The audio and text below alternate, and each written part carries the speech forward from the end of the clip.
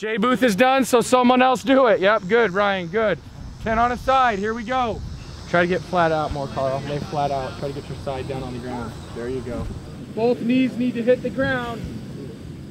Turn your hips over all the way. Roll over on your stomach and do the same thing.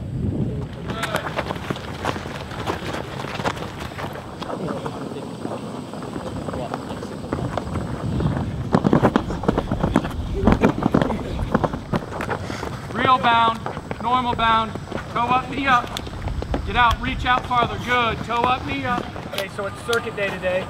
Break down into small group or younger group, older group. If we need to add a couple guys, the older group, since we're down a little bit, we'll add a couple guys, okay?